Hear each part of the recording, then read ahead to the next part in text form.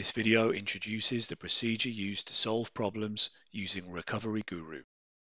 Log in to ThinkSystem System Manager. Select Home.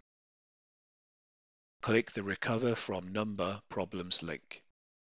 In the Recovery Guru dialog box, select the first problem shown in the summary list and then follow the instructions in the recovery procedure to correct the problem.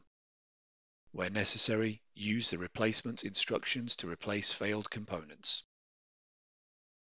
Repeat this step for each problem listed. Different problems within a storage array can be related and the order in which these problems are corrected can affect the outcome. Always select and correct the problems in the order that they are displayed in the summary list. Click Recheck to make sure that the recovery procedure was successful.